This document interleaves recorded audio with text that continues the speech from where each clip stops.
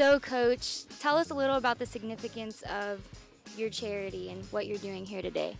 Well, Coach Blair Charities, we try to help out a lot of different people within this town, but mainly it's Special Olympics. I've been real close to this for 21 years, ever since I was coaching way back at Stephen F. Austin, and I got hooked.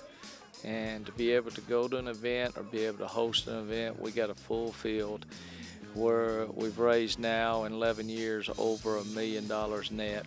And this is going to be probably the most profitable one we've ever had. But it's not the money, it's the time, it's the love, it's the support, it's the awareness.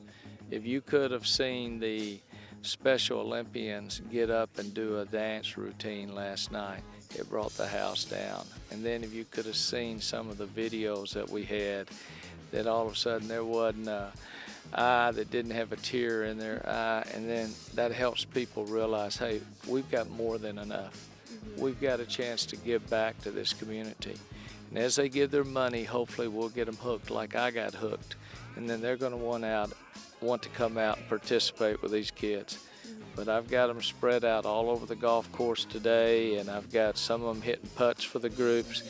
And when that ball goes in the hole, and it's a national championship, it's just like Sydney Colson making the pass to Tyra White and Tyra knocking it down.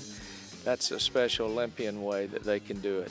And I'm proud of my team and I'm proud of my volunteers that really helped with Special Olympics. Our committee and our volunteers, mm-hmm. they're the ones that make me look good because they're doing the uh, majority of the work.